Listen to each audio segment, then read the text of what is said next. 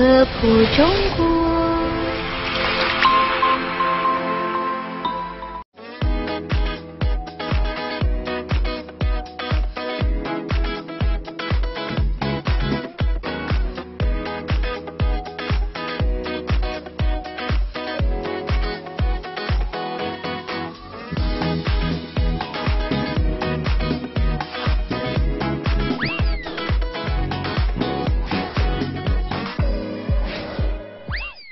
大家好，欢迎来到答疑课堂。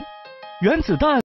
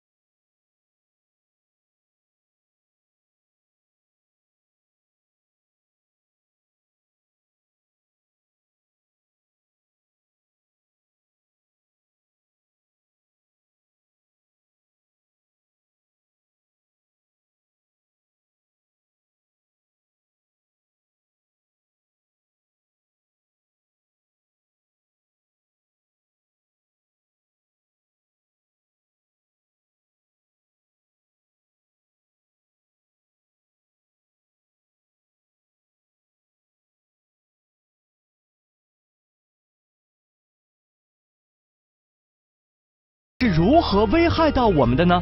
其实，原本电池的组成物质在使用过程中被封存在电池壳内部，并不会对环境造成影响。但废弃以后埋在土下，经过长期的腐蚀，使得内部的重金属和酸碱化学物质等泄露出来，进入土壤或水源，就会通过各种途径进入人的食物链。再加上其他水源植物、生物从环境中摄取重金属。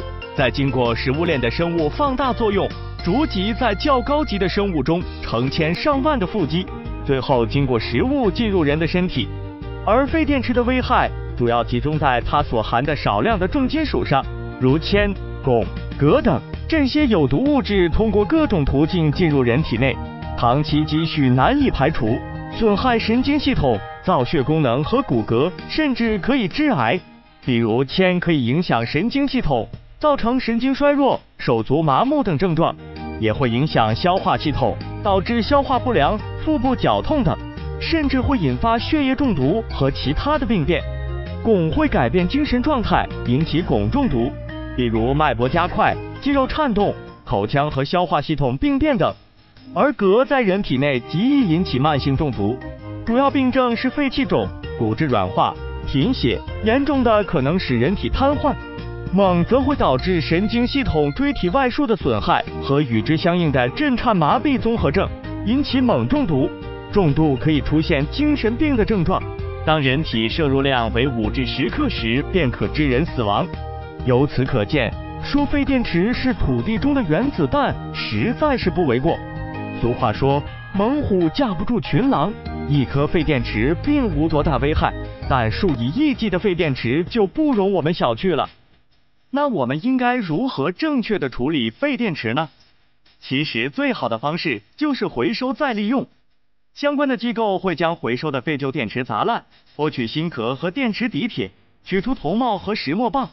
对于余下的铅、汞、镉重金属和酸碱化学物质等，会通过专业手段将物质收集分解，再加工进行处理。